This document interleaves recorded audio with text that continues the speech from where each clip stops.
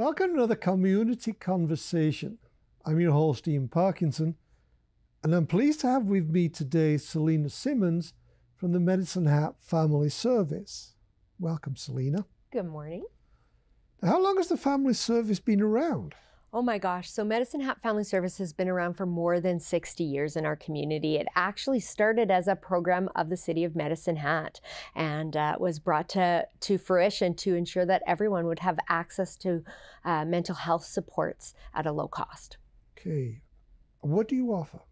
Well, Medicine Hat Family Service has grown quite a bit in the last few years. Uh, but our main service is that we provide counseling on a sliding scale. What that means is that you can access a very, very qualified counselor uh, for as low as $8 an hour if, if needed. And the other thing that we don't tell everyone, but if you can't afford the $8, we will absolutely subsidize you fully. So this is income based? Income based. Now you just offer counseling? We offer counseling, we offer support groups, we have groups for kids facing divorce, we have groups for uh, grief and loss, uh, especially for children. We know in the last few years, children in our community have faced several losses, and so yes. uh, we started a group for both younger children and for teens. So we partner with the Be Youth Center and Redcliff Youth Center to do those. Uh, we also have groups for marriage uh, counseling, uh, and, and then we have one on one counseling as well. Is there anything for seniors that maybe have lost a partner? Absolutely. We have a group that runs right out of the Veiner Center. And so uh, it's called DILS, which is a program where, where we do life learn, lifelong learning. And we work with seniors one on one as well, right at the Veiner Center, so that you have an op- opportunity to uh, connect at the place that you're already comfortable with a counselor. All right. So your services are, your, your prices are basic, based on income. Yes, uh, we offer all the groups for free. We get sponsorship from outside organizations to do that. The one to one counseling we offer on a sliding scale. Okay.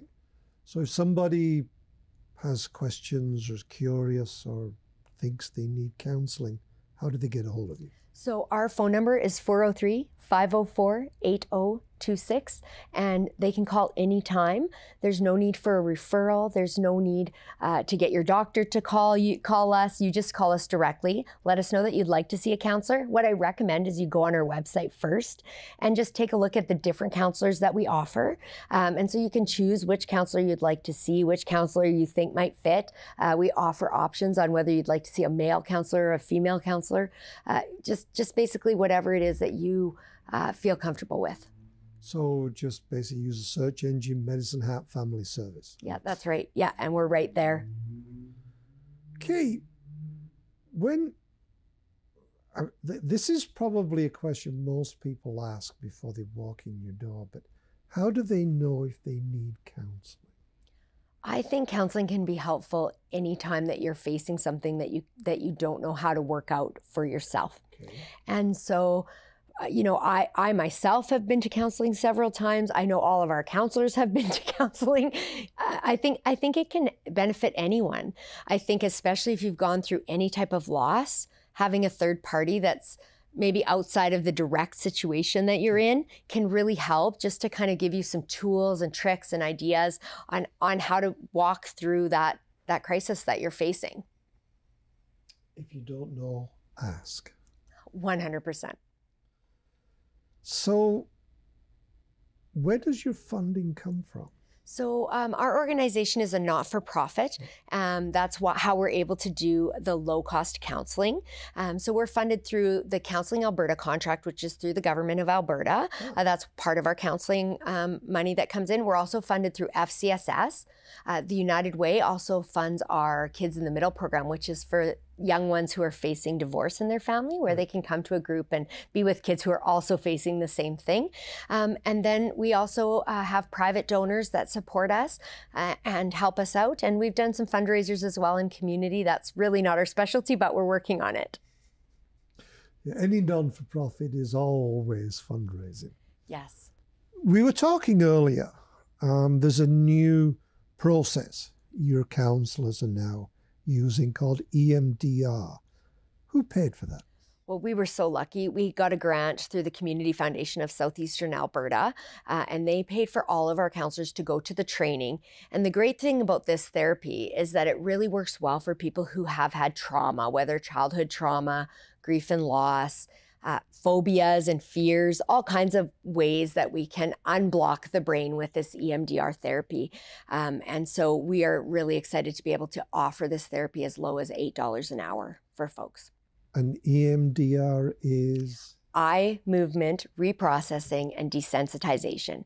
Essentially, our brain goes through a process when we when we experience something that we're scared of or something that we're fearful of or something that you know happens that's a bit mm. scary uh, some kind of a trauma our brain goes through a normal process sometimes our brain can't make sense of that of whatever's happened because there's something about it that doesn't make sense okay.